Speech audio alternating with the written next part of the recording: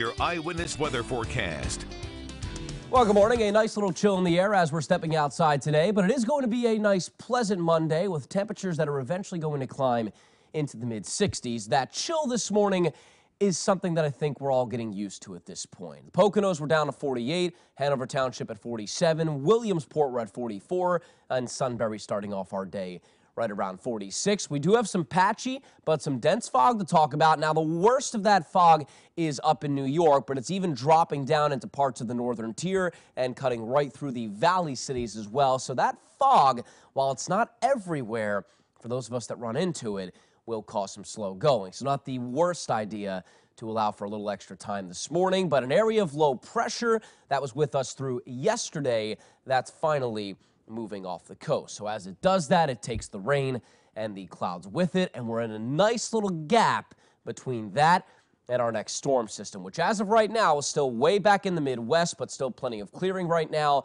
and we're going to end up with plenty of sunshine through the rest of today once we start to break up those clouds for the rest of this morning and get rid of some of this fog, which is really the only thing that'll slow some of us down through that morning commute. Temperatures are sitting in the 40s even as the kids are headed to the bus stop. Good idea with the light jacket, but by this afternoon, probably don't even need it. Temperatures are going to make it into the mid 60s for today. Keep in mind the average for this time of year is right around 60, so we'll be running a good five, even more so degrees above average. A very nice day today, especially since we're going to have that sun to go around with it. But the question is, how long does that stick around? Not that long, unfortunately. The sunshine here by this afternoon and going into this evening.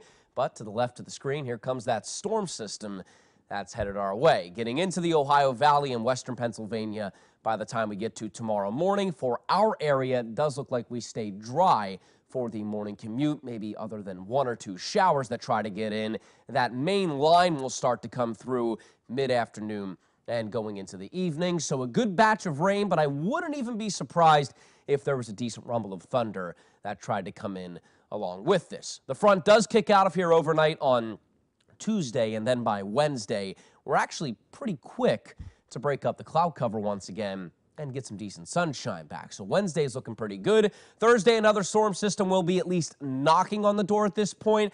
At this point, though, it looks like it doesn't have that much moisture to work with. So we get a little cloud cover back Thursday, still some decent sun. It'll be Friday as this front settles in a little bit more.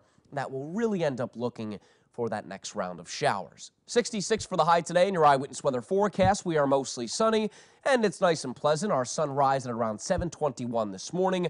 We're down near 50 for the overnight low tonight with those increasing clouds and it's not quite as cool as what we're waking up to this morning. Then by the afternoon, cloud cover really takes over and we get those showers to move in. Wednesday morning, a lingering shower early. That looks pretty isolated. Clouds and sun by the afternoon.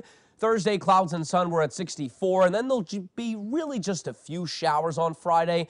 We're right around 60. We're quick to dry out for the weekend as of right now. Clouds and sun Saturday and Sunday, but it is cooler. Temperatures are down into the 50s. And don't forget about the Eyewitness Weather app. We can always download that on our phones and tablets. The forecast is always available for us as well at pahomepage.com.